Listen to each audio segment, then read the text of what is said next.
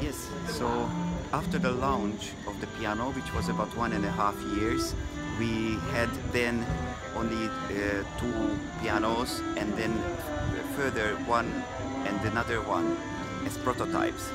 So after the prototype uh, section, which was few so many years, we have uh, now the situation that we have the production itself as well worked out.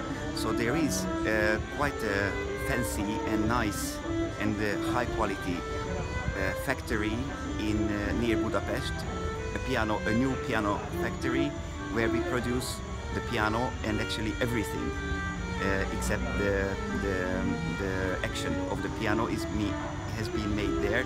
Also the carbon fiber composite uh, technology. What about the level of international orders? Uh, is it rising? Uh, yes, it is rising and it is actually surprisingly uh, fast rising and the timing uh, uh, is, uh, is so special because you know earlier if there would be would have been more orders then we would have not been able to to fulfill that but now we are just right right on time with uh, about five six months uh, delivery time.